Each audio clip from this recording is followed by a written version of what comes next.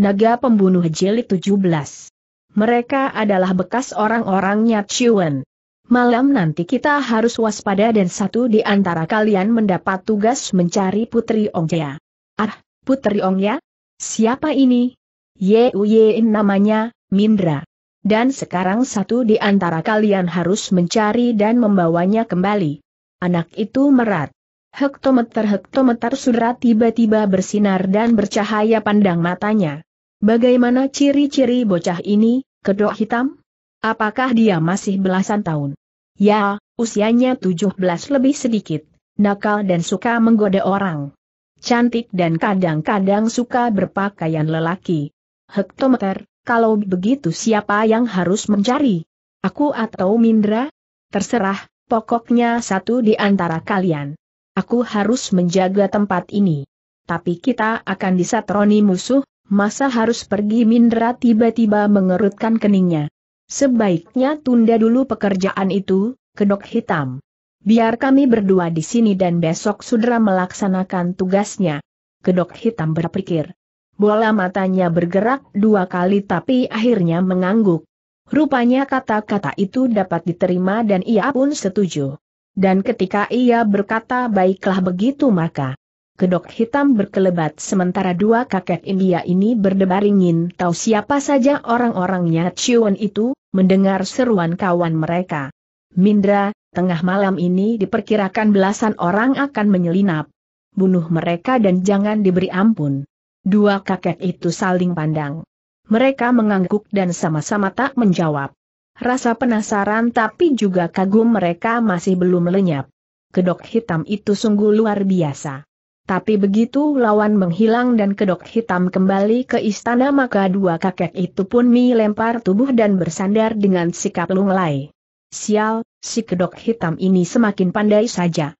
Kita menjadi bukan apa-apa. Ya, tapi sikapnya juga berubah, M. Indra. Sekarang kita cukup dihargai meskipun kepandaian kita masih kalah olehnya. Barangkali atas suruhan Coaongnya. Sebenarnya lebih baik lagi kalau sikap ramahnya itu timbul dari hatinya sendiri, bukan perintah orang lain. Sudahlah, kita mendapat perlakuan yang manis, Mindra. Betapapun kedok hitam itu tidak seperti dulu. Dia sudah tidak merendahkan kita lagi. Hektometer-hektometer, baiklah, kita harus tahu diri tapi penasaranku ini akan kutumpahkan kepada pendatang-pendatang yang malam nanti akan datang mengacau. Ya, aku juga. Penasaran dan kemarahanku ini akan kuhabiskan kepada mereka-mereka itu. Mari beristirahat dan kita bersama di. Dua orang itu bersila. Mereka sudah memejamkan mata dan bersama di. Tenaga yang sudah dikuras untuk menghadapi si kedok hitam tadi kini harus dipulihkan. Maka begitu keduanya tidak bercakap-cakap lagi dan menarik perhatian kepada pengembalian tenaga maka mereka ini pun sudah tidak bergerak dan duduk seperti patung. Kentongan tanda larut mulai dipukul orang. Lonceng berdentang sebelas kali dan gerimis tiba-tiba mengguyur. Istana, yang semula gemebiar tiba-tiba beberapa bagiannya dipadamkan. Itulah tanda penghuninya mulai masuk kamar dan beristirahat. Hanya lampu-lampu kecil dipasang dan lampu-lampu besar yang menyilaukan dibunuh. Malam tiba-tiba menjadi dingin dengan datangnya gerimis itu. Dan ketika angin mendesau dan tajam menyapu kulit, Beberapa penjaga menguap oleh kantuk yang mengganggu maka beberapa bayangan berkelebatan di timur istana dengan topeng-topeng merah, meloncati tembok-tembok tinggi. SST, hati-hati. Berpencar dan jangan membuat berisik, pacul sakti. Ingat dan patuhi kata-kataku tadi dengan anak buahmu. Kita semua tak boleh gegabah. Baik, aku mengerti, Dewa Hitam. Kami akan melaksanakan tugas kami dengan penuh kecermatan. Kita berpencar dan sampai bertemu lagi di titik tengah. Satu di antara bayangan-bayangan hitam itu memisahkan diri. Dia seorang laki-laki tinggi tegap dengan sebuah pacul mencangklok di pundak. Mata paculnya berkilat tertimpa sinar lampu, tajam dan berkilauan. Mengerikan. Dan ketika Dewa Hitam, Laki-laki tinggi besar yang ada di tengah memberi aba-aba kepada empat temannya yang lain, Mereka ternyata berjumlah enam orang maka Dewa Hitam itu berbisik agar empat temannya ke kiri kanan. Kau, katanya kepada seseorang di sebelah kiri. Pergi dan laksanakan tugasmu di bagian utara, tombak maut. Beri tanda anak buahmu begitu para penjaga berhasil kau lumpuhkan. Hati-hati, jangan berisik dan membuat suara lalu menuding. Lagi kepada tiga yang lain berturut-turut lelaki tinggi besar ini melepas perintah, kalian berdua menuju barat dan timur. Sedang papan besi bersama aku. Nah, masing-masing melaksanakan tugas dan cepat mulai. Bayangan-bayangan itu bergerak. Dua yang pertama sudah berkelebat ke barat dan timur, yang lain tadi sudah ke utara dan papan besi, bayangan pendek gempal yang bersama laki-laki tinggi besar ini bergerak ke tengah.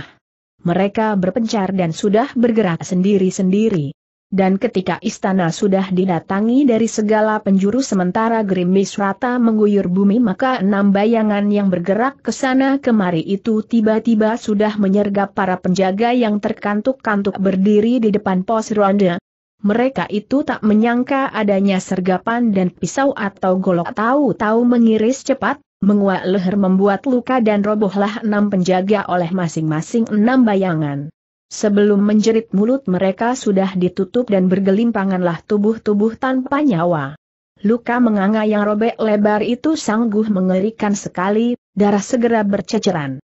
Tapi karena gerimis mengguyur tempat itu dan enam penjaga yang roboh digorok sudah dilempar mayatnya ke dalam semak kerimbunan belukar, Bayangan-bayangan ini terus bergerak dan maju ke tengah maka tiba-tiba belasan penjaga sudah dibunuh dan para pendatang bertopeng merah ini berhadapan dengan selapis penjaga lain yang lebih banyak.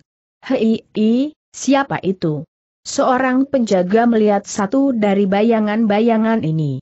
Dia berteriak dan tentu saja teman-temannya terkejut, menoleh dan terlihatlah pemandangan mengerikan ketika pisau bergerak ke leher penjaga, menggorok dan tergulinglah penjaga itu oleh satu sergapan cepat. Dan ketika bayangan itu berkelebat menghilang namun gerakannya sudah diketahui tuan rumah maka gemparlah tempat itu oleh kejadian ini. Penjaga lapis kedua memanggil penjaga lapis pertama namun tak ada jawaban. Dan ketika di tempat lain juga terdengar Seruan-seruan kaget di mana penjaga yang lain juga disergap dan bertemu dengan pendatang-pendatang malam ini, Dewa Hitam dan teman-temannya masuk kian ke dalam maka segera terdengar pekik atau bentakan-bentakan marah. Awas, musuh mendatangi kita. Kita disergap. Awas. Bunyi aba-aba atau tanda bahaya dipukul. Malam yang larut dan sudah mendekati titik tengahnya tiba-tiba berubah gaduh dan ramai. Suasana yang semula sunyi mendadak riuh oleh jerit dan kemarahan ditahan. Enam bayangan berkelebatan ke sana-sini dan para penjaga roboh. Dan ketika para pengawal melihat bahwa itulah rombongan orang-orang bertopeng merah, sepak terjang mereka sungguh cepat dan ngegirisi maka di bagian utara sebatang cangkul membabat atau menyabet leher lawan dengan gerakan luar biasa. Hayo, kalian maju. Ku bunuh kalian, anjing-anjing buduk. Mana majikan kalian dan biar kucangkul batang lehernya. Krat sebuah kepala mencelat dari tempatnya, dibabat atau dicangkul senjata mengerikan ini dan bergeraklah bayangan itu memutar tubuhnya. Dia menghadapi tiga pengeroyok namun dengan mudah dirobohkannya lawan-lawannya itu. Mula-mula sebuah kepala terlepas namun disusul oleh dua yang lain. Tiga penjaga roboh berturut-turut dalam waktu hampir bersamaan, cepat dan mengerikan karena begitu kepala menggelinding segera darah memunkrat dengan amat derasnya. Pacul atau senjata maut di tangan laki-laki itu sungguh menyeramkan sekali, tak kenal ampun. Dan ketika penjaga yang lain terbelalak dan mundur berteriak ketakutan, Laki-laki ini tertawa dan mengejar maka di bagian lain sebatang tombak juga menari-nari menusuk atau mendodet perut penjaga. Haha, mari maju. Kalian makanan empuk. Mari, mari nikmati tombakku, cus-cus usus terburai dari perut dua penjaga, yang berteriak dan seketika tewas dan gaduhlah tempat itu pula oleh sepak terjang si tombak maut ini. Dia tak kalah ganas atau berbahaya dengan si pembawa pacul di sana, bahkan barangkali lebih berbahaya karena gagang tombaknya juga dapat dipakai untuk mengemplang atau menyodok perut penjaga, yang ada di belakang. Dan ketika berturut-turut muncul pula seorang pendek gempal yang menumbuk-numbukan badannya dan seorang laki-laki tinggi besar yang mengibas atau mendorong-dorong para penjaga hingga jatuh bangun maka istana atau tempat tinggal Choa ini geger. 30 pengawal roboh binasa dan serbuan atau amukan enam orang ini sudah masuk ke dalam, cepat luar biasa mereka sudah meluruk ke dalam gedung dan tentu saja para penjaga kelabakan. Si pendek gempal itu, yang menumbuk-numbukan badannya ternyata tak apa-apa dihajar golok atau tombak. Badannya seatos besi dan tombak atau golok pun patah-patah. Derai ketawanya selalu mengiringi patahnya senjata-senjata tajam yang bertemu tubuhnya. Dan karena cara bertempurnya aneh karena suka menumbuk-numbukan badan, bagai bulldozer atau tank mini yang tak dapat dipukul mundur maka pengawal menjadi ngeri dan bercat oleh sepak terjangnya. Mereka dihajar dan tunggang langgang, terus didesak dan apa boleh buat berteriak-teriak memanggil bala bantuan, penjaga lapis ketiga yang ada di atas, karena gedung Choa Ong Ya berlantai tiga.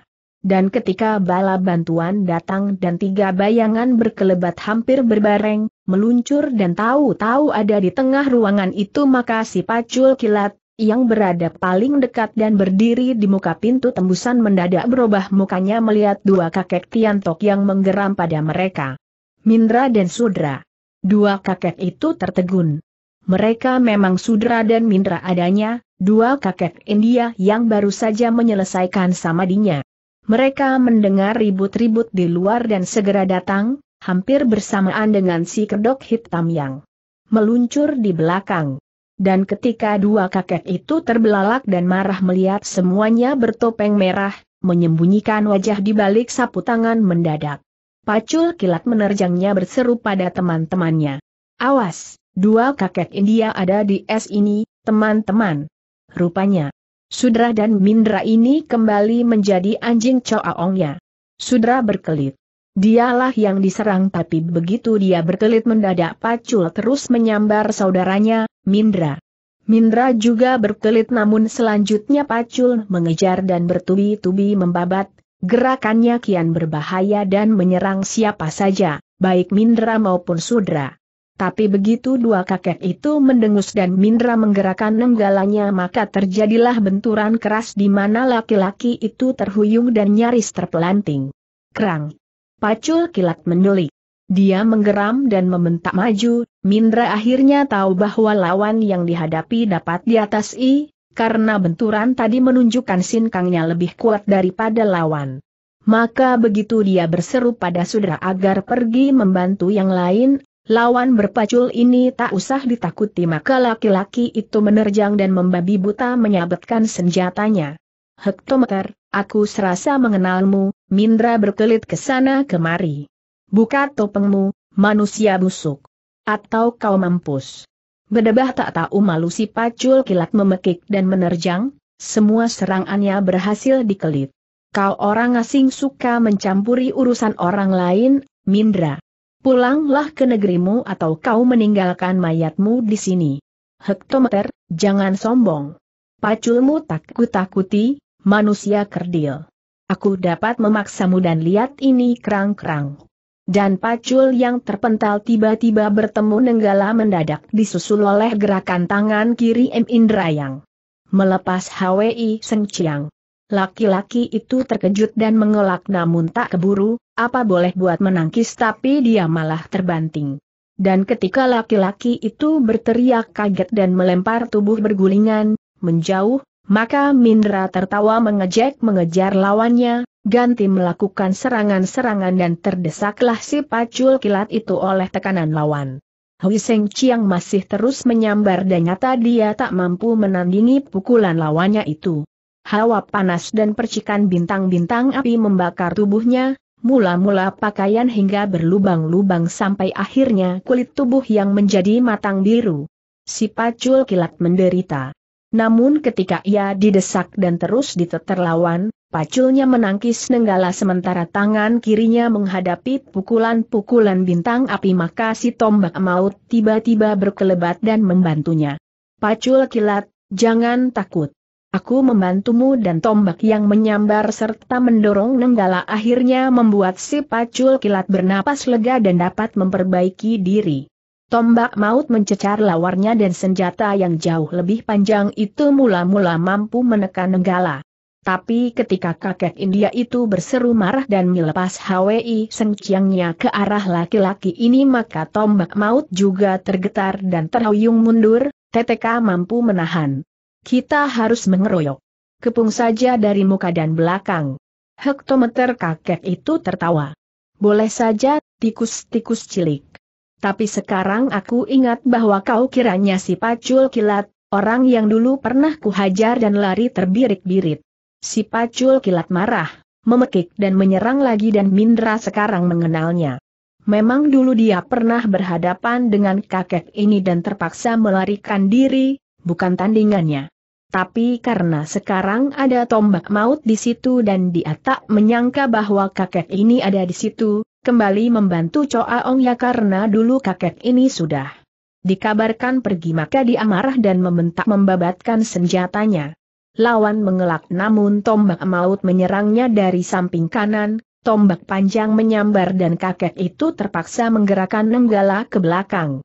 Dan ketika tombak terpental namun dua orang itu sudah menyerang lagi maka kakek ini harus berhati-hati dan menggeram karena untuk beberapa jurus dia diteter. Namun Mindra adalah kakek yang betul betul hebat. Ditekan dan dicecar dari muka dan belakang ia tak kelihatan gugup. Sinkangnya masih lebih kuat daripada lawan dan setiap kali ia menangkis setiap kali itu pula lawan terhuyung ke belakang. Tombak maut dan pacul kilat sama-sama terbelalak dan kagum tapi juga marah. Kakek Tiantok ini lihai. Tapi begitu mereka menyerang lagi dan tak takut akan kelebihan lawan, M. Indra menjadi geram dan ikut marah maka kakek itu teringat pada HWI sengciangnya lagi dan dikeluarkannya lah pukulan ini ke arah dua orang itu. Pacul kilat maupun tombak maut ternyata sama-sama tak tahan. Mereka silau oleh percikan bintang-bintang api itu dan selalu mengelak. Namun karena lawan terkekeh mengejar dan pukulan bintang api ini memang amat mengganggu, menyengat dan memba, bakar kulit tubuh maka di sini dua orang itu terdesak dan tombak panjang tak berguna banyak dipakai menyerang. Tombak maut sering mengelak kalau pukulan bintang api menyambar, di samping tak kuat hawa panasnya juga sengaja menghindar dari percikan bintang-bintang api itu. Pakaiannya juga berlubang-lubang dan ia melotot karena hal itu sama dengan rekannya, si pacul kilat. Dan karena ia sering menghindar dan tombak jadi tak berguna, Sementara pacul kilat juga begitu karena HWI Seng Chiang memang luar biasa maka begitu mereka mengelak kiri kanan dan lawan mengejar serta terus melepas pukulan-pukulan bintang apinya maka tiba-tiba dua orang ini terdesak dan mereka malah ditekan. Haha kakek itu terbahak-bahak. Ayo mana ilmu kepandaian kalian, pacul kilat. Mana itu kata-kata kalian yang ingin membunuh aku? Keparat pacul kilat memekik. Kau sombong namun kami belum roboh, Mindra. Gerakan yang galamu dan tunjukkan pula kepada kami bahwa kau sanggup membunuh kami. Hektometer, hal itu pasti kulaksanakan. Dan sekarang akan kumulai, lihat dan ketika kakek itu melepas HWI sengciangnya lagi hingga dua orang itu mundur, Pacul kilat membentak karena selalu ia terauriung maka saat itulah Nenggala bergerak mengejar dirinya, menusuk atau mematuk dan Pacul kilat terkejut karena ia sedang buruk posisinya, belum sempat memperbaiki diri.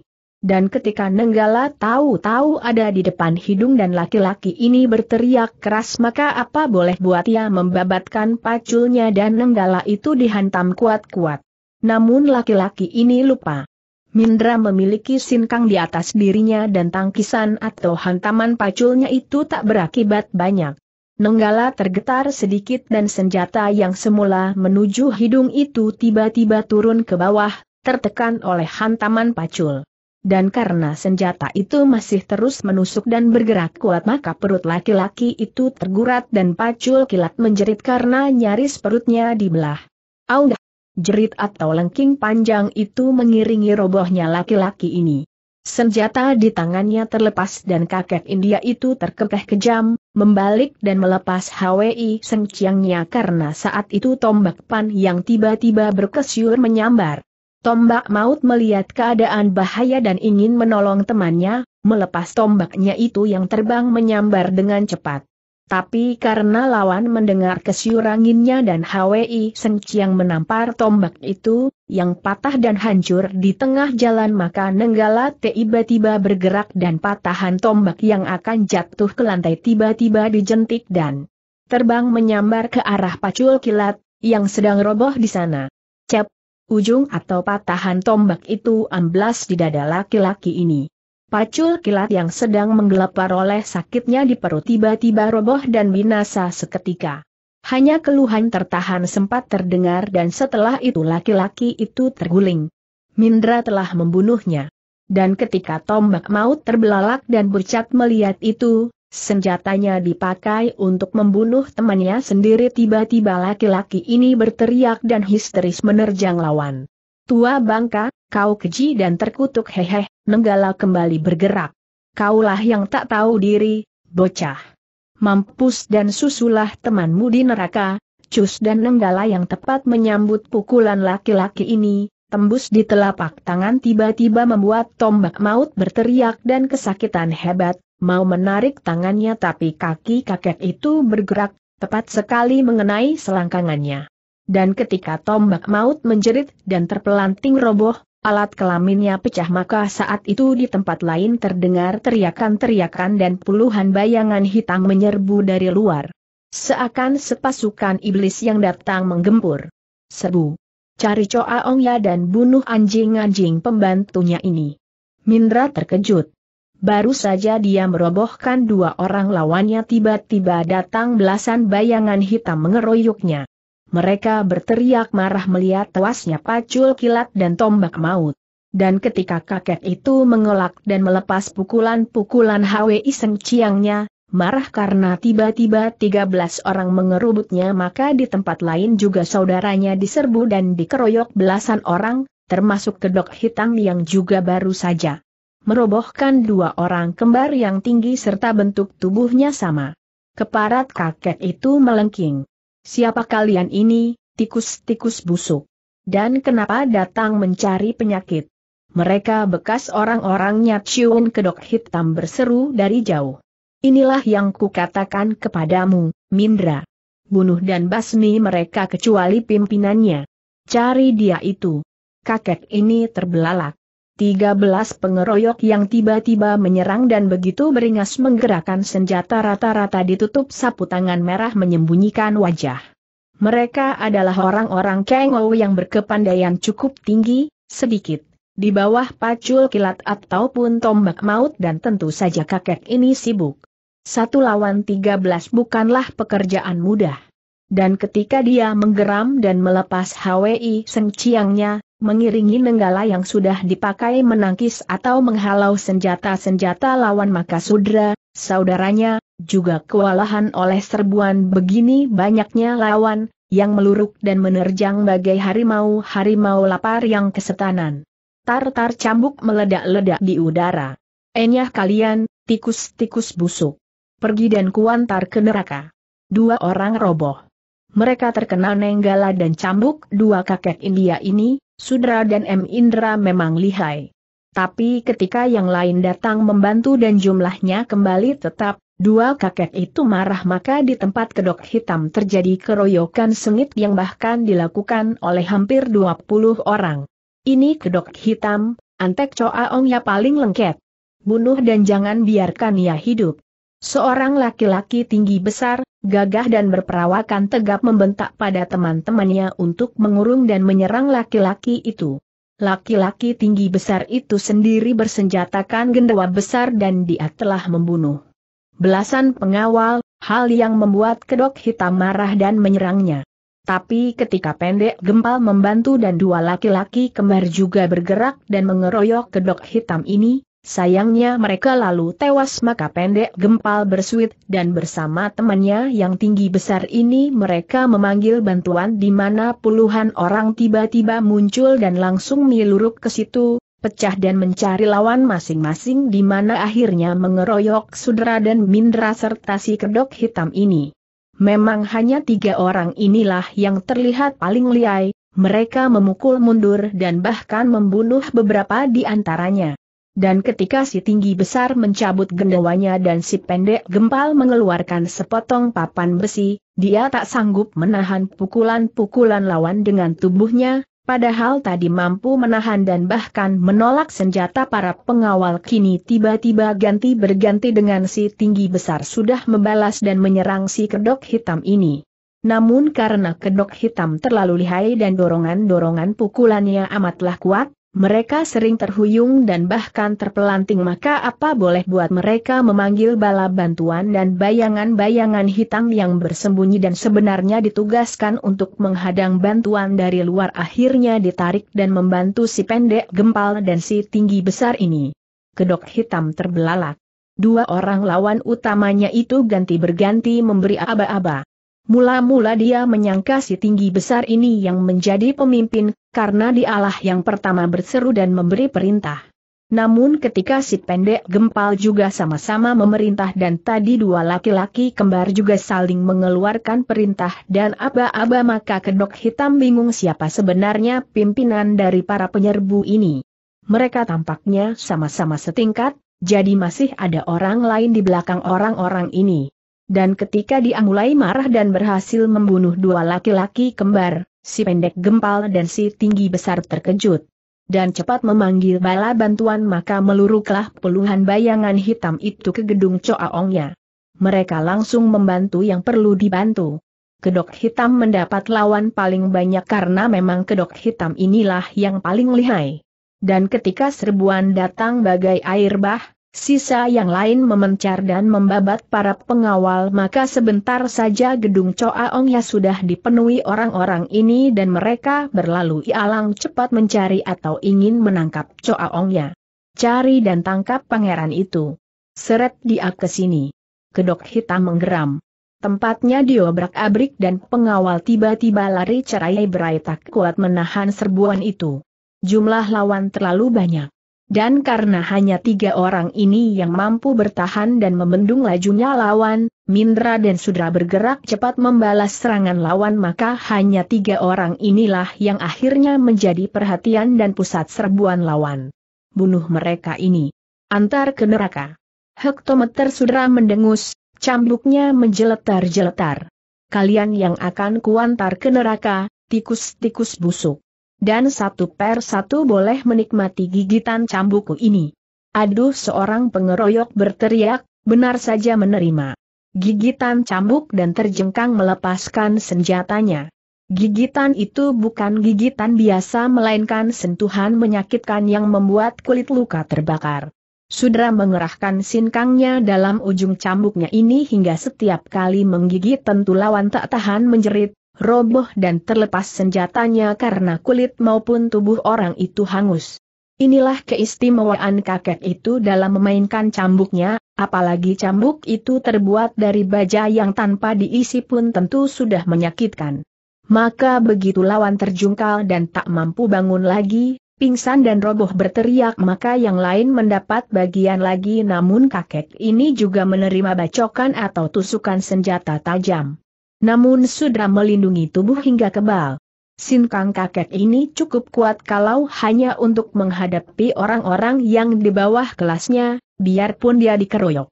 Namun ketika belasan orang itu mulai mengarahkan senjata mereka pada hidung atau mata, daerah yang tentu saja paling lemah maka serempetan sebuah pedang nyaris saja mengenai mata kiri kakek itu. Keparat kakek ini berseru. Robohlah kau, tikus busuk. Terima lecutan cambuk putar orang itu menerima balasan. Menjerit dan roboh dengan kepala berlubang karena ujung cambuk mengenai batok kepalanya. Kakek ini marah dan menjeletarkan cambuknya di saat orang itu terhuyung, karena serangannya tak mengenai matu kakek ini, dan ketika orang itu roboh dan dua lawan tewas seketika, yang lain terbelalak dan gentar maka di sana Mindra juga merobohkan dua lawan lagi dengan nenggalanya. Kakek ini, seperti juga Sudra, marah Arna berkali-kali lawan-lawannya itu mengarahkan senjata ke lubang hidung atau bijai matanya. Sekali kesempatan telinganya juga tertusuk sebatang tombak bercagak, hampir saja tembus kalau dia tidak cepat melempar kepala membuang HSA tusukan itu. Dan ketika dia membenlak dan melepas HWI Seng Ciangnya, mendorong mundur yang lain-lain maka Nenggala bergerak menyambar pantat laki-laki yang menusuk lubang telinganya tadi. Audah laki-laki itu terputar, menjerit. Tobat, kakek iblis. Tapi kau pun terimalah ini, Wud dan tombak bercagak yang dilemparkan atau terbang menyambar Mindra tiba-tiba disambut dengusan pendek di mana kakek itu mengibas dan menampar hancur tombak itu, Nenggala terus berputar mengikuti gerakan laki-laki itu dan tahu-tahu sudah tembus ke perut. Laki-laki ini berteriak dan seketika menggelepar, hilang ingatannya karena seketika itu pun nyawanya sudah terbang ke alam halus. Mindra melukai dan membunuh lawannya itu dengan metu dingin. Lalu ketika yang lain marah dan berteriak menerjang, sudah mampu menguasai diri ketika dibuat terhuyung oleh tamparan HWI Seng Chiang maka kakek ini membalik dan menghadapi lagi lawan-lawannya dengan gemas dan geram. Krang krang krang. Orang-orang itu pun terpelanting. Mereka kalah kuat dan cepat melempar tubuh bergulingan untuk menyelamatkan diri, bangun dan menerjang lagi karena mereka memang orang-orang nekat yang termasuk gagah berani. Dan ketika kakek itu menjadi gusar karena lawan tak mau sudah, tampaknya beberapa mayat yang ada di situ tak membuat mereka mundur, meskipun gentar, akhirnya kakek ini berkelebatan dan nenggala diputar cepat sambil tangan kiri terus melancarkan pukulan-pukulan HWI Seng Chiang. Orang-orang itu akhirnya pucat karena tamparan hawa panas menahan mereka. Namun karena jumlah masih banyak dan maju lagi untuk mengeroyok maka kakek ini benar-benar habis sabar dan HWI Seng Chiang maupun nenggalanya menjadi senjata maut yang buas dan tak kenal ampun. Bacokan atau tusukan senjata tajam ditangkis atau diterima kakek ini, yang mental karena bertemu tubuhnya yang penuh tenaga sakti. Dan ketika HWI Seng Chiang atau Nanggala membalas, bergerak bagai petir di angkasa maka tujuh orang akhirnya roboh dan tewas, menjadi korban kemarahan kakek ini. Ayo ayo maju lagi. Biar ku bunuh habis. Lawan pun ngeri. Akhirnya Nenggala dan kakek itu beterbangan bagai burung menyambar-nyambar. Mindra mengeluarkan kesaktiannya dan bergeraklah senjata atau pukulannya itu menghajar lawan. Dan karena secara orang per orang lawan-lawannya ini masih di bawah kakek itu, Mindra menampar atau menusuk maka lagi-lagi lima orang roboh terjungkal. Hal ini menciutkan nyali dan belasan orang itu mundur, mengepung dari jauh. Dan ketika di tempat lain, juga terdengar jeritan-jeritan ngeri, orang-orang yang terkena cambuk atau pukulan sudera maka di tempat kedok hitam justru terdengar teriakan atau pekik tertahan yang lebih cepat lagi. Mundur si pendek gempal akhirnya memberi aba-aba, pucat. Mundur, kawan-kawan. Jauhi laki-laki ini dan keluarkan jala berduri. Dua puluh laki-laki yang mengeroyok kedok hitam tiba-tiba mundur. Mereka berloncatan menjauh karena kedok hitam tiba-tiba menjadi ganas. Laki-laki itu mengeluarkan pukulan jarak jauhnya yang hebat di mana sekali tampar atau kibas maka mereka pun terdorong. Hawa panas menyertai pukulan itu dan mereka tak tahan. Apalagi, di samping panas juga tajam seperti bacokan pedang. Ini memang mengerikan maka begitu mereka berloncatan mundur dan pendek gempal memberi aba-aba untuk menjauh, mengeluarkan jala berduri mendadak mereka semuanya bergerak dan sudah mencabut sebuah jala yang penuh kaitan baja. Itulah jala yang dimaksud. Dan begitu si pendek gempal berseru dan menerjang lagi maka jala di tangan masing-masing orang bergerak dan mengikuti si pendek gempal itu. Siut-siut warak. 20 jala berkembang dan menikup laki-laki di tengah ini. Kedok hitam terkejut karena lawan hendak menyusahkannya dengan jala.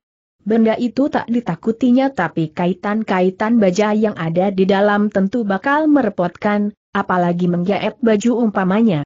Tentu akan sobek dan dia telanjang. Maka membentak berseru keras tiba-tiba laki-laki ini berkelebat seraya mencabut sesuatu. Orang tidak tahu apa itu namun sebuah sinar putih tiba-tiba berkelebat. Cahayanya menyilaukan mata dan berteriaklah mereka ketika tiba-tiba tangan yang memegang jala mendadak serasa enteng. Dan ketika mereka terkejut dan berseru keras tahu-tahu terdengar suara kerang-kering-kerang-kering dan jala di. Tangan mereka terbabat kutung, putus oleh sinar atau cahaya putih itu. Mundur. Seruan ini terlambat. Empat di antara mereka yang kaget dan bengong di tempat tiba-tiba disambar sinar atau cahaya putih menyilaukan itu. Mereka tersentak setelah cahaya itu dekat. Dan karena mengelak lagi sudah tak sempat maka sinar atau cahaya putih itu menyentuh leher mereka dan putuslah kepala empat orang ini oleh sebatang golok yang luar biasa tajam. Krat-krat-krat. Empat batang tubuh roboh bagai batang pisang. Tak ada jeritan atau keluhan di sini, tanda betapa cepat dan tajamnya golok maut itu. Dan ketika sinar putih ini berkelebat dan masih menyambar ke sana sini, si pendek gempal terpekik karena pundaknya tergurat panjang maka yang memegang gendewa, si tinggi besar, juga mengeluh karena lengannya tersobek sejengkal. Audah! Orang-orang itu pucat. Mereka tersentak dan ngeri oleh kejadian ini kedok hitam telah mencabut senjatanya, sekali dicabut ternyata empat nyawa melayang. Dan ketika mereka terbelalak dan gentar mundur menjauh, jala sudah terkulai bertumpuk-tumpuk maka kedok hitam tertawa berkelebat membalas. Sekarang giliran kalian menerima hajaran. Bersiaplah ke akhirat. Dua puluh orang yang tinggal enam belos itu terpekik.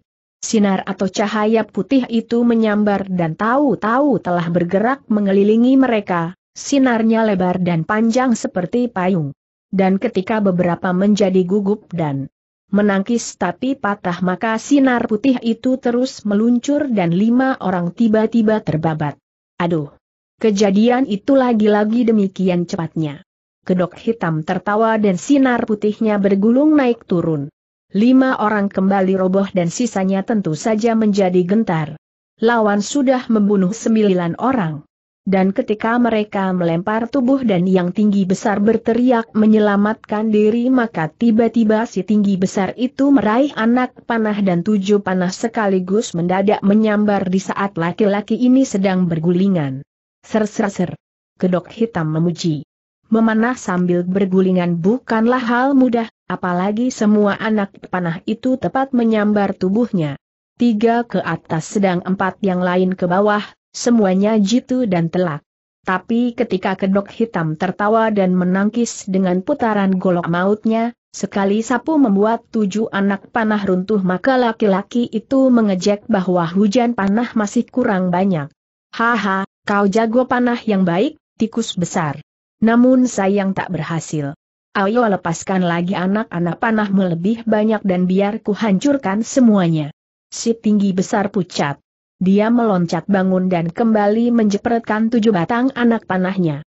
Namun ketika semuanya runtuh di babat sinar putih itu maka laki-laki ini mengeluh dan si pendek gempal tiba-tiba juga meraup anak panah dan melontarkannya seperti orang melontar lembing.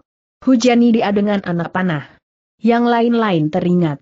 Mencabut anak panah yang rupanya sudah disiapkan di kantong mendadak mereka menyambitkan anak-anak panah ke arah si kedok hitam. Laki-laki itu diserang dan dihujani anak panah, bukan belasan. Melainkan puluhan. Namun ketika sinar putih bergulung dan meruntuhkan anak-anak panah ini tiba-tiba patahan anak panah membalik dan mengenai orang-orang itu sendiri.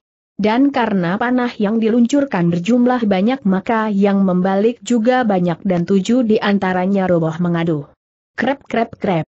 Si tinggi besar dan si pendek gempal terbelalak. Mereka kaget dan bingung karena diserang dengan care apa pun juga ternyata lawan mereka itu terlalu lihai. Tadi membabat jala berduri sekarang membabat anak-anak panah mereka. Jumlah yang semula 20 tiba-tiba sekarang tinggal empat orang celaka. Dan ketika mereka tertegun dan bercat serta marah, di samping gentar, maka kedok hitam berkelebat dan menuju pada mereka. Haha, sekarang giliran kalian. Mampus dan pergilah ke neraka. Si pendek gempal menggerakkan papan besinya. Dia terkejut dan tentu saja tak mau menerima kematian dan karena itu cepat mengelak, mundur sambil menggerakkan papan besinya menangkis.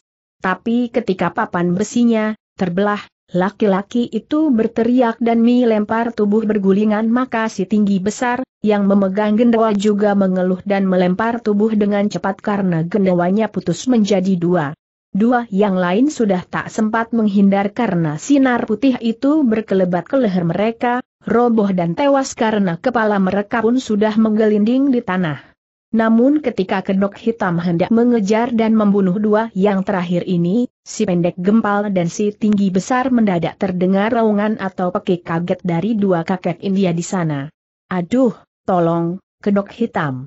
Ini bocah iblis yang kukatakan itu, tas kerak dan cambuk atau nanggala yang putus di babat sinar menyilaukan tiba-tiba membuat Sudra dan Mindra berteriak dan melempar tubuh sambil mengadu. Dua pertandingan di sana tiba-tiba berubah ketika seorang pemuda tiba-tiba muncul, diiring kekeh atau tawa wanita di mana kakek-kakek berhidung bengkung itu terkesiap. Mereka sudah menguasai lawan-lawan mereka dan tinggal menamatkan dengan serangan terakhir, tak taunya terdengar bentakan dan sesosok bayangan hitam berkelebat, menangkis dan mematahkan senjata mereka. Dan ketika cambuk dan nenggala putus dibabat, sebuah cahaya menyilaukan yang berhawa dingin menyambar senjata mereka itu maka sebuah dorongan kuat menampar pula dan dua kakek itu mencelat. Sudra dan Mindra terguling-guling dan alangkah kagetnya mereka ketika melihat siapa yang datang. Kiranya pemuda yang dulu bertemu dengan mereka di luar hutan, yang membantu Hang atau menyelamatkan bekas ketua Hekian Pang itu dari tangan mereka. Dan ketika kekeh atau tawa itu disusul orangnya, bayangan kedua, maka dua kakek ini pucat karena itulah si cantik gila yang dulu mereka ganggu itu. Mereka tak tahu bahwa Hang sekarang sembuh, masih mengira gila dan karena itu kembali perhatian mereka tertuju pada pemuda yang berpakaian hitam-hitam itu. Mereka terbelalak karena sekarang pemuda ini berambut kemerah-merahan, marong bagai api unggun. Tapi begitu pandangan mereka tertuju ke bawah, ke arah cahaya putih yang berhawa dingin maka tiba-tiba dua orang kakek ini serasa terbang semangatnya karena mengenal benda di tangan pemuda itu, ketika mereka meloncat bangun. Golok maut. Golok penghisap darah. Dua kakek ini terguncang. Giam Liong, pemuda itu, sudah berdiri tegak dengan sikapnya yang dingin namun gagah. Golok di tangannya yang bergetar dan berkilauan itu tiba-tiba bergerak dan lenyap di belakang punggung. Giam Liong telah menolong orang-orang bersapu tangan merah ini dengan kilatan senjatanya tadi, cahaya atau kilatan yang lebih dingin dibanding kilatan di tangan kedok hitam, karena kedok hitam juga mempergunakan golok atau senjatanya yang amat tajam itu. Tapi begitu Giam Liong tak menyerang lagi dan tegak menghadapi dua kakek India itu, yang terkejut dan pucat serta tentu saja mengenal golok maut di tangannya maka ibunya, yang terkekeh dan melengking di sebelahnya tiba-tiba berkelebat dan menusuk Mindra, kakek yang terdekat dengannya. Hai hik, ini golok maut puteraku.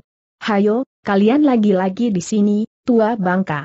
Mampus dan bayar hutang kalian kepadaku dulu, singa dan pedang bersinar merah yang meluncur dan menusuk tenggorokan kakek itu, cepat sekali, tahu-tahu telah menyentuh kulit dan Mindra yang masih bengong oleh hadirnya Giam Liong tiba-tiba terpekik dan cepat melempar kepala ke belakang kakek itu terkesiap karena Wei Hang menyerangnya di saat ia tertegun. Kehadiran atau kedatangan pemuda itu memang mengejutkan, apalagi karena membawa golok maut atau golok penghisap darah itu. Mindra dan Sudra tentu saja kenal dan tahu akan golok di tangan pemuda itu karena tak ada senjata betapapun tajamnya mampu mengeluarkan hawa sedingin golok maut. Golok itu adalah golok bertuah dan karenanya tak heran kalau cambuk atau nanggala mereka putus terbabat, seolah agar-agar atau tahu bagi golok sehebat itu. Maka begitu Wihang berkelebat dan kakek ini terkesiap, Kedatangan Giam Liong masih belum menghilangkan kekagetannya maka kakek itu semakin terkejut saja karena Wei Hang dengan jurus biang lala menukik ke bumi masih terus mengejar dan menyerang tenggorokannya. Keparat, plakring kakek itu membentak, menangkis atau menjentikan kuku jarinya sambil memaki Wei Hang dan pedang seketika terpental bertemu kuku jarinya. Wei Hang memang masih bukan lawan kakek ini namun berteriak marah justru wanita itu berkelebat dan menyerang lagi. Dan karena kakek ini gentar oleh kedatangan Giam Liong dan hadirnya. Pemuda itu seolah siluman ganas yang akan menerkamnya maka begitu dia mengelak dan menjentikan kuku jarinya lagi tiba-tiba kakek ini berkelebat dan lari ke arah si kedok hitam. Kedok hitam, bantu aku. Bocah iblis itu ada di es ini kedok hitam masih tertegun. Dia menghentikan serangannya ketika jeritan pertama temannya tadi. Sinar menyilaukan yang lebih hebat dari sinar goloknya sendiri sudah membuat laki-laki itu terkejut. Dua lawannya mundur menjauh dan terbelalak menahan luka. Dan ketika dia melihat betapa pemuda itu amatlah tampaknya namun berwajah dingin, Persisi golok maut Sin Hao yang dulu dibunuhnya tiba-tiba hati lelaki ini bergetar dan dia lupa kepada dua orang lawannya tadi, si pendek gempal dan si tinggi besar. Tapi begitu M. Indra berkelebat ke arahnya dan berteriak, Wei Hang mengejar dan melihat dirinya tiba-tiba wanita itu melengking dan membelokkan larinya ke arah si kedok hitam ini. Keparat, kau ada di sini, kedok hitam? Kebetulan sekali, kau berhutang jiwa suamiku. Aku memang mencarimu dan kebetulan kau ada di sini, Haid dan pedang yang memeluk dan meluncur ke arah laki-laki ini akhirnya tidak mengejar Mindra melainkan menyerang lawan utamanya itu. Kedok hitam terkejut tapi mengeluarkan suara dari hidung. Dia tahu kepandaian wanita ini dan tangannya pun bergerak menangkis, tangan yang lain masih memegang goloknya itu. Dan ketika pedang tertampar dan seketika patah, Wei Hang terpekik dan terbawa maju maka kaki laki-laki itu bergerak dan mencelatlah wanita ini oleh sebuah tendangan keras. Pergilah kau, Des Wei Hang terlempar dan jatuh terguling-guling. Wanita itu menjerit karena hanya dalam sekali gebrakan saja pedangnya sudah patah. Kedok hitam memang luar biasa. Tapi ketika wanita itu meloncat bangun dan bayangan hitam berkelebat maka Giam Liong telah menolong ibunya mengangkat bangun. Ibu tak apa-apa. Tidak, tidak. Dia, dia, oh Hahawi Hang tiba-tiba histeris. Inilah pembunuh ayahmu, Giam Liong. Itu si kedok hitam yang kita cari-cari. Dia ada di sini, aku ditendangnya bunuh dan balaskan sakit hatiku dan mencengkeram serta meremas putranya, mengguncang-guncang tiba-tiba Wihang bergerak dan mau merampas golok di punggung putranya itu. Giam Liong mengelak dan ibunya histeris membentak, memberitahu bahwa pedangnya dipatahkan dan biarlah dengan golok maut dia membalas dendam. Namun ketika Giam Liong menampar dan mencengkeram tangan ibunya maka pemuda itu berkilat memandang lawan, Matt mencorong mengeluarkan sinar pembunuhan. Ganas dan dingin. Ibu diamlah, biarlah aku yang bekerja. Ini si kedok hitam yang membunuh ayah? Ini laki-laki yang membuatmu menderita. Hektometer, jangan takut. Kau tenang dan berdiri di sini, ibu. Akan kudatangi dia dan lihat kulitnya akan kubeset. Semua meremang kedok hitam yang baru saja menendang Wihang tiba-tiba dibuat terkejut ketika dengan perlahan namun dingin pemuda bermata naga itu menghampiri. Langkahnya tenang namun setiap hentakan tentu membuat getaran. Giam Liong mengayun kakinya bagai langkah seekor gajah, berderap dan bergetar karena tiba-tiba seluruh sinkang di tubuh pemuda itu hidup, Pengaruhnya terasa sampai beberapa meter karena orang-orang bersapu tangan merah ada yang terhuyung dan mau jatuh. Tanah yang mereka injak seakan diguncang gempa dan tak satu pun di antara mereka yang tidak berseru kaget. Pemuda bermata naga ini telah menggetarkan jantung mereka dengan sikap dan kata-katanya yang dingin. Langkah kakinya terasa membetot sukma karena setiap menapak tanah tentu seolah sebuah kejadian mengerikan bakal terjadi ganas dan menyembunyikan rasa seram yang menakutkan. Dan ketika dia sudah berhadapan dengan si kedok hitam, metu yang berapi penuh cahaya pembunuhan itu tak henti-hentinya menatap wajah lawan, yang sayangnya ditutup kedok hitam. Maka pemuda itu bertanya, suaranya berat dan seakan godam dipukulkan berdetak-detak. Kedok hitam, kau yang membunuh mendiang ayahku Sin Hao? Bagaimana kau membunuhnya dan menghabisi nyawa ayahku? Benarkah kau merajang dan memotong-motongnya seperti anjing? Jawab, Aku ingin mendengar pengakuanmu, manusia iblis. Dan setelah itu aku akan mencacah dan menguliti tubuhmu jauh lebih mengerikan daripada perlakuanmu kepada ayahku. Haha kedok hitam tiba-tiba tertawa bergelak mengusir kengeriannya. Kau bocah ingusan mau apa, anak tak tahu diri. Mendiang ayahmu ternyata menurunkan kau. Ah, ingat aku. Kau tentu bocah haram dari hasil hubungan gelap ayahmu dengan ibumu itu. Haha, Wei Hang ternyata pelacur murahan yang memberikan tubuhnya kepada laki-laki semacam Sin Hao. Ah, pantas kalau Hekian Pang tak mau menerimanya lagi dan sekarang dipimpin orang lain. Hektometer, kau benar, anak muda. Ayahmu akulah yang membunuhnya dan tak perlu aku mungkir. Kejadian itu sudah lewat dan aku melaksanakannya atas perintah kerajaan. Kau mau apa dan apakah ingin mampus seperti ayahmu dulu? Aku tidak takut. Kau merajang dan memotong-motong tubuh ayahku seperti hewan?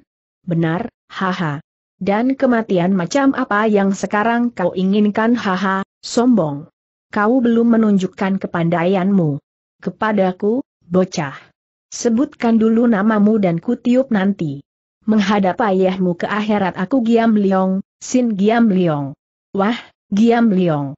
Berarti naga pembunuh, atau naga maut. Ya, aku naga pembunuh, dan aku akan mulai membunuhmu, kelap dan sinar putih yang berkelebat menyilaukan mata, tiba-tiba mencuat dan bergerak dari punggung pemuda ini, langsung menyambar leher lawan dan kedok hitam terkejut karena gerakan itu amatlah cepatnya. Dia mengelak namun sinar itu tetap mengejar. Dan ketika dia menggerakkan goloknya pula, tak ada kesempatan untuk menghindarkan diri tiba-tiba terdengar suara nyaring dan golok di tangan laki-laki itu putus, terbabat bagai agar-agar. Kerang! Kedok hitam melempar tubuh bergulingan. Bukan main kagetnya laki-laki ini karena begitu bergerak tiba-tiba Giam Liong mencabut golok mautnya. Tadi senjata itu sudah disimpan dan kini tiba-tiba mencuat bagai kilat menyambar. Gerakannya bukan main hebatnya dan ada jurus-jurus pedang di situ. Giam Liong memang mempergunakan gerakan Pek Jit Kiam Sut ketika melakukan serangan pertamanya ini, silat pedang meskipun yang dipakainya adalah golok. Dan karena golok atau pedang baginya sama saja, pemuda ini telah mewarisi Pek Jit Kak Yamsut dari ayah angkatnya maka tak heran kalau kedok hitam tiba-tiba tersentak dan kaget sekali melihat gerakan golok yang aneh. Golok tidak menyambar sebagaimana layaknya golok melainkan menyambar sebagaimana gaya atau ilmu silat pedang. Hal ini mengejutkan sekaligus membuat darahnya tersirap. Dulu mendiang si golok maut tak mempunyai gaya seperti ini dan tiba-tiba saja sekarang puteranya memakai golok seperti pedang. Hebatnya sama saja dan dia yang lupa bahwa senjata di tangan pemuda itu adalah golok penghisap darah, golok maut yang amat berbahaya tiba-tiba harus menerima akibat dengan putusnya senjata di tangan. Golok yang tadi dipakai membunuh atau membabat kepala orang-orang bersapu tangan merah tiba-tiba kini seperti agar-agar bertemu dengan golok maut itu, dia lupa dan kaget bukan main. Maka begitu golok masih terus menyambar dan laki-laki ini berteriak keras, melempar atau membanting tubuh bergulingan maka Wei Hong, yang menonton atau menyaksikan di sana tiba-tiba berjingkrak dan bersorak. Bagus, bagus kejar dan terus serang Jahanam itu, Liong Ji. Bunuh dia, hai hik. Kedok hitam berubah. Dalam gebrakan ini saja nyaris dia kehilangan segala-galanya. Pertama senjatanya dan kedua adalah hinaan atau ejekan yang diterima. Dia adalah tokoh utama dan dimalui orang. Kawan ataupun lawan segan kepadanya karena dialah yang membunuh golok maut. Hanya pelejit Kak Yam Hiap Ju Beng Tan itulah yang ditakutinya, lain-lain adalah bukan apa-apa baginya. Maka begitu sekali gebrak dia dibuat malu dan terbang semangatnya, bocah yang dihadapi itu ternyata lihai luar biasa maka mendadak laki-laki ini berteriak dan menyambar golok lain. Kedok hitam sudah meloncat bangun dan Giam Liong, yang berkilat-kilat dan tidak mengejar lawan ternyata berhenti sampai di situ saja. Dia telah menjatuhkan mental lawan dalam sekali gebrak itu. Minimal, kedok hitam tak akan tersombong lagi dia telah memberi pelajaran. Dan ketika benar saja lawan terbelalak dan bercat di sana, kaget dan geram serta bermacam perasaan lain yang tak dapat dikatakan lagi maka Giam Liong menunggu dan golok penghisap darah atau golok maut telah lenyap kembali di punggungnya. Satu pameran untuk merontokkan nyali lawan. Kedok hitam, majulah dan mari main-main lagi. Aku telah melihat kepandaianmu dan kupikir tak perlu membunuhmu dulu dengan senjataku. Gerakan golokmu dan mulailah menyerang. Aku memberimu kesempatan sebanyak sepuluh jurus. Kedok hitam memekik. Diejek dan diperlakukan seperti itu tiba-tiba kemarahannya menggelegak. Dia, tokoh yang telah membunuh golok maut tiba-tiba saja diperlakukan begitu hina oleh pemuda ini. Giam Liong telah berkata bahwa Kepandaiannya telah diketahui, padahal seharusnya dialah yang berkata begitu karena kepandaian Giam Liong telah dirasakan dan luar biasa lihainya. Golok maut yang dipegang pemuda itu benar-benar ditunjang dengan kepandaiannya yang menggiriskan.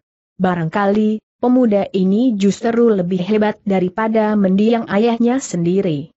Dulu golok maut hanya menggerakkan goloknya dengan gaya atau ilmu silat ke golok, tidak seperti pemuda ini yang dapat mainkan golok seperti pedang, hingga gerakannya membingungkan dan karena itu dia jatuh bangun dalam gebrakan pertama tadi. Namun karena dia juga memiliki ilmu esilat golok dan bagi yang pernah menyaksikan pertandingan golok maut Sin Hao dengan laki-laki itu melihat persamaan antara silat golok kedok hitam ini dengan mendiang Sin Hao maka begitu membentak dan melengking mengerahkan hikangnya tiba-tiba laki-laki itu berkelebat dan golok pengganti yang ada di tangannya tiba-tiba menyambar dan mendesing bagai ribuan lebah yang siap menyengat korban.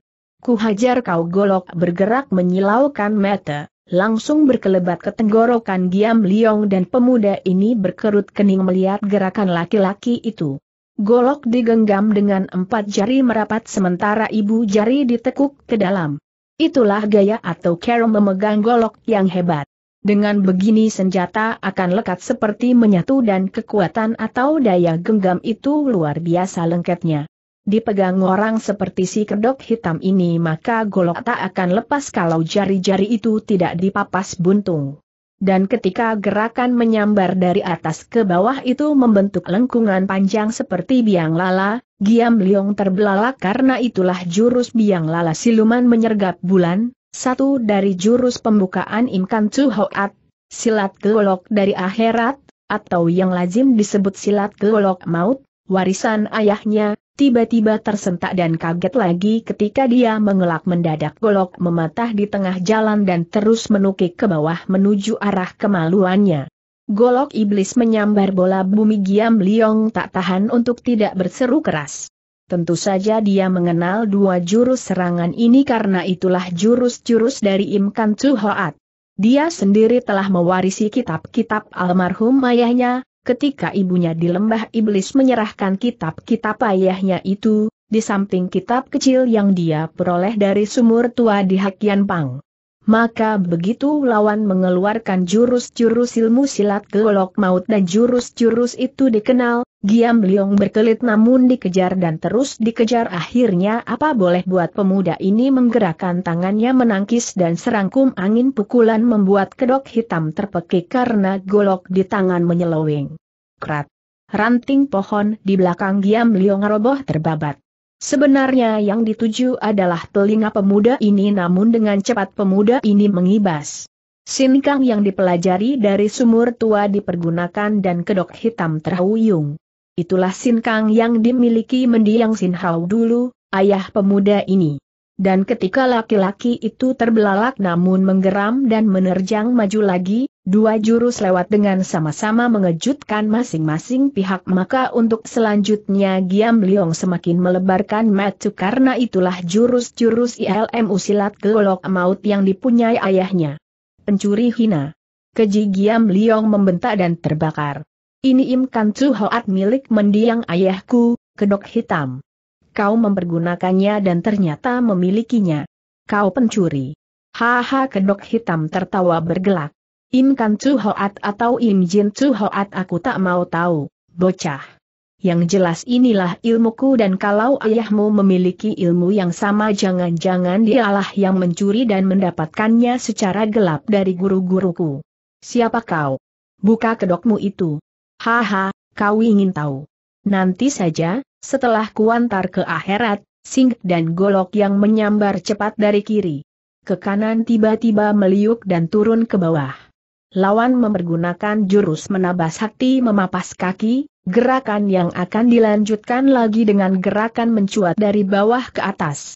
Kalau sudah begini maka tujuh tusukan bertubi-tubi akan susul menyusul. Giam Liong tahu bahayanya ini dan cepat menjejakkan kaki berjungkir balik. Dan ketika benar saja tujuh tusukan menyusul berturut-turut, cepat, maka Giam Liong sudah membebaskan dirinya dan terbelalak oleh ilmu esilat lawan. Selanjutnya pemuda itu berkelebatan ke sana kemari menghitung jurus-jurus berikut.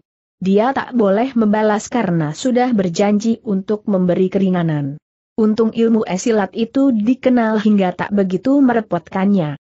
Tapi ketika pada jurus kedelapan kedok hitam mengeluarkan seruan panjang, golok berubah bentuk seperti gumpalan awan maka pemuda itu tertegun karena lawan sudah merubah gerakan dan tidak mempergunakan imkan cuhoat lagi. Jurus-jurus berikut ciptaan laki-laki itu sendiri karena gerakan golok segera diiringi pukulan tangan kiri. Angin menyambar dingin dan pukulan tiba-tiba berubah menjadi totokan. Dua jari kedok hitam melejit di balik bayang-bayang golok. Giam Liong dicegat dari segala penjuru. Dan ketika pemuda itu dipaksa menangkis dan apa boleh buat mengerahkan Sin Kang menerima totokan maka begitu mengelak dari sambaran golok Giam Liong pun menotok sekaligus mencoba kulit tubuh laki-laki ini. Tuk! Dua-duanya tergetar dan terkejut. Giam Liong menerima totokan sekaligus membayarnya dengan totokan pula kedok hitam mendesis namun jari pemuda itu mental, Giam Liong serasa bertemu dalam bung hawa yang aneh yang membuat jarinya tertolak, sementara lawan mendesis sakit karena jarinya bertemu kulit Giam Liong yang sekeras besi. Pemuda ini telah mengerahkan sinkangnya hingga tubuhnya atos. Dan ketika kedua-duanya terbelalak dan Giam Liong serasa mengenal daya tolak lawannya tadi, yang membuat jarinya mental maka ibunya, yang melengking-lengking dan berteriak di luar berseru agar pemuda itu mencabut golok mautnya lagi. Bodoh, sombong dan bongah. Kau melebihi ayahmu, Giam Liong. Lawan seperti itu tak perlu diberi kesempatan sebanyak sepuluh jurus. Dua atau tiga saja cukup. Hayo cabut golokmu dan bunuh dia. Hektometer kedok hitam sudah menyerang pemuda itu lagi, kembali mainkan golok dan tangan kirinya. Aku terlanjur berjanji, ibu. Aku akan menepati janjiku. Tinggal dua jurus lagi dan setelah itu aku akan membunuhnya. Golok, sombong sang ibu membanting-banting kaki. Sekarang dia mengeluarkan ilmu-ilmunya yang lain, Liong Ji. Kau tidak kenal. Lawanmu itu jahat dan cerdik sekali. Akalnya melebihi siluman. Hayo cepat cabut golokmu atau kau mampus, Brad Giam Liong tiba-tiba berseru kaget, pecah perhatiannya oleh makian atau teriakan ibunya tadi. Pada jurus ke-9 kedok hitam memang melancarkan pukulan baru. Golok tiba-tiba bergetar di tangan dan tidak bergerak, yang bergerak adalah tangan kirinya itu yang menampar atau melecut, gaya serangannya mirip ekor ular atau naga dan karena dia memperhatikan itu dan tidak waspada akan golok mendadak senjata itu menyambar dan tahu-tahu tanpa suara sudah menuju ke batang lehernya. Ibunya menjerit namun golok sudah benar-benar dekat, Giam Liong Mi lempar kepala namun pada jurus ke-10 laki-laki itu terkekeh dan melepaskan senjatanya. golok itu terbang seperti bernyawa.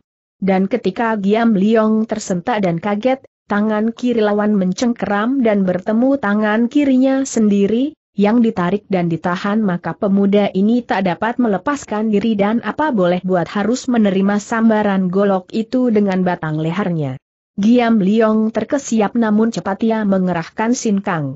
Batang lehernya tiba-tiba menggembung terisi tenaga sakti, penuh. Dan ketika golok merobek leher bajunya, masuk dan menusuk batang lehernya namun tertahan oleh lalembung sinkang yang sudah melindungi pemuda itu maka golok patah dan Giam Liong cepat menarik tangannya seraya melepas tendangan berputar. Des! Kedok hitam terpelanting dan terkejut. Pangkal pahanya bertemu tendangan kuat dan kalau bukan dia tentu tulang-tulangnya hancur. Giam Liong berhasil membebaskan diri dan ibunya berkelebat, melengking dan menyambar anaknya itu karena Giam Liong terhuyung dua tindak dan bencat. Dia juga merasakan kokohnya pahlawan ketika ditendang. Paha kedok hitam itu bagai batang besi yang kokoh di samudera, tanda bahwa lawan memang memiliki sinkang luar biasa meskipun akhirnya dibuat terpelanting, hal yang bukan semata kekuatan Giam Liong sendiri melainkan juga karena disebabkan tertegunnya kedok hitam itu melihat golok terbangnya patah bertemu leher si pemuda. Laki-laki itu terbelalak karena Giam Liong ternyata luar biasa sekali. Di samping hebat ilmu kepandaiannya juga hebat pula sinkangnya.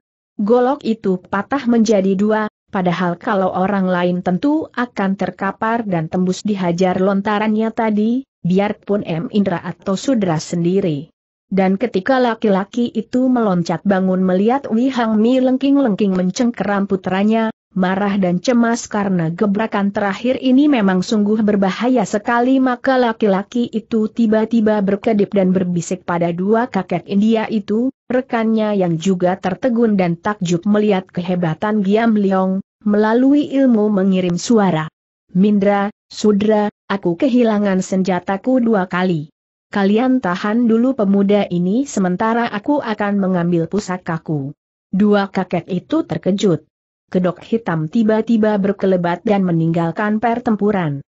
Giam Liong yang sedang dicaci maki ibunya berkali-kali ditepuk pundaknya, tanda betapa gemas dan marah wanita itu karena Giam Liong terlalu mengalah. Tapi begitu kedok hitam lenyap dan Giam Liong melihat ini, ibunya membelakangi dan karena itu tak melihat perginya kedok hitam tiba-tiba pemuda itu berseru keras mendorong ibunya. Hei Giam Liong berkelebat membuat ibunya terpelanting. Pengecut kau, kedok hitam. Jangan lari. Namun dua kakek India itu tiba-tiba menghadang. Mereka mengira kedok hitam benar-benar akan mengambil senjata pusakanya, karena itu pasti kembali. Maka begitu Giam Liong membentak dan akan mengejar laki-laki itu, pemuda ini marah karena lawan melarikan diri mendadak dua kakek itu melompat dan berseru keras. Sudra menggerakkan sisa cambuknya sementara Mindra juga menggerakkan sisa nenggalanya. Dua kakek itu sama-sama mempergunakan sisa senjata mereka. Tapi begitu Giam Liong membentak dan menggerakkan tangan ke punggung, Sinar atau cahaya putih berkelebat menyilaukan mata mendadak dua kakek itu menjerit karena tahu-tahu nenggala atau cambuk di tangan mereka putus sebatas pergelangan tangan.